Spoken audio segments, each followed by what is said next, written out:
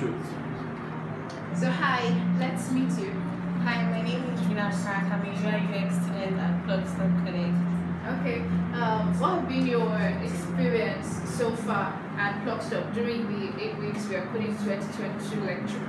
Let's So- start with your good experiences. So far at Plugstuck Connect, my experience has been good. Classes have been practical, very easy to understand, and the lecturer or the teacher has been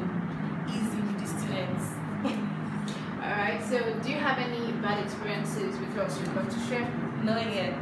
Oh, good. So moving forward, what are you going to do with the skills that you've been learning uh, here at Plugstuck with UX design? I plan to get a job in UI UX design field. Oh, great. So, uh, do you think you want to continue with us, you know, as a trainer or as a trainee uh, or as part of the team? Do you think there are like more things you would want to learn in the IT field? I mean, as time goes on us here at. Yeah, definitely. I would want to learn more things in future, but for now, I want to finish my eight week training program first. Then maybe next year or later in the future, I could come back to the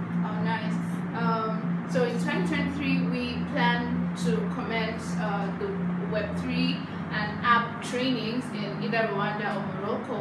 So do you have any recommendations or ideas on how the team and uh, the trainers, the entire company can improve as we move forward? I think you guys should set up your own website first and then start to reach out to more people like in Lagos and Abuja and then like it will help you expand and create a larger audience for your